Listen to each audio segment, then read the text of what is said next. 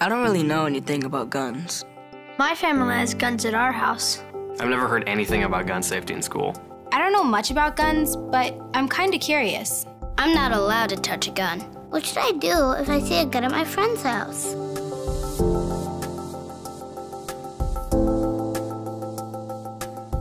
Hi, I'm Julie Golob. I'm a veteran, a competitive shooting sports champion, a hunter, and a mom. My family shares a heritage and love for the outdoors and the shooting sports. I know from raising my own family that just because kids aren't asking about gun safety doesn't mean they don't have questions. As a parent, if you have guns at home, it's vital that you have a conversation with your kids about gun safety. Even if you don't have guns, the conversation is still important. We all know kids see guns on TV and in movies. They may see them at friends' houses or in situations where you are not there. If they don't learn something about guns from you, chances are they'll learn it from someone else. As a mom, I wouldn't want to rely on someone else to know about firearm safety or teach my kids about it. So have this conversation. It will make your kids, your family, and your communities safer. My parents talked to me about guns safety when I was about seven or eight, but they haven't really talked about it since. I've asked about guns, but my mom and dad say I'm not old enough to talk about it. My parents have talked to me about guns, but I'm not sure if they've talked to my little sister. Sometimes I hear from other parents that they just don't know how to get started, when and where to talk, and what to say. This is an important conversation, but it doesn't need to be a lecture. Kids do need to know it's a serious topic. Pick a time and a place where you can all focus on the discussion without distractions.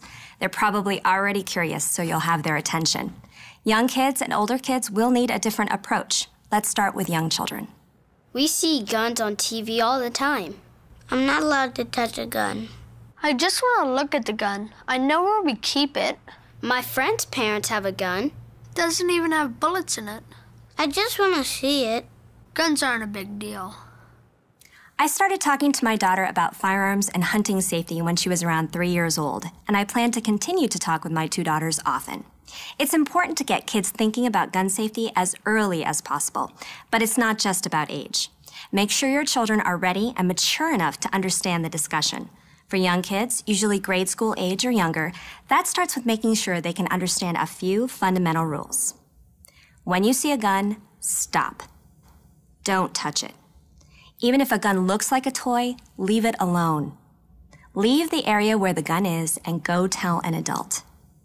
With kids at this age, repetition is key.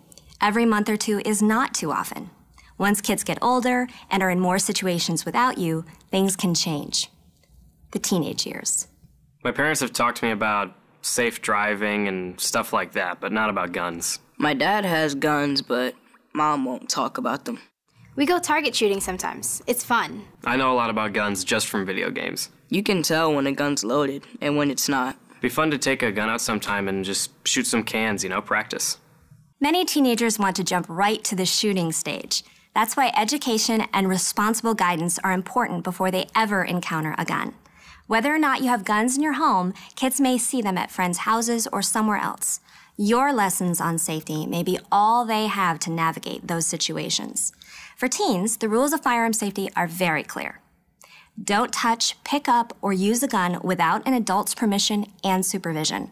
Never, ever point a gun at anyone. Always assume a gun is loaded and can fire. For all kids, young and old, there are a few things you can do to make sure it's a meaningful discussion for you and your family. If you have a partner, get on the same page and try to have the talk with kids together. Be sure your kids aren't hearing different messages from their parents. Find a good time and place for the discussion where both you and your kids won't be distracted. Remember, this is a conversation, not a lecture.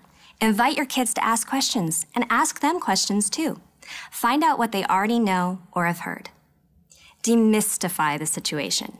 Use examples from real life to help them understand your rules better so they remember what to do in situations when you may not be there. Walk the talk. Set an example with your own careful, safe handling, and proper storage of guns. Reinforce your conversation regularly, adding detail and context as your kids get older. There are great educational resources out there for you with discussions of best safety practices, safety videos, and safe storage options. You can start by going to projectchildsafe.org and think about signing the Project Child Safe Child Safety Pledge together with your children.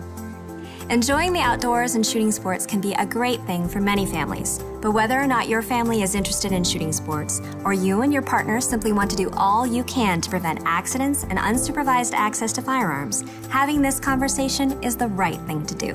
It's up to you to get started today.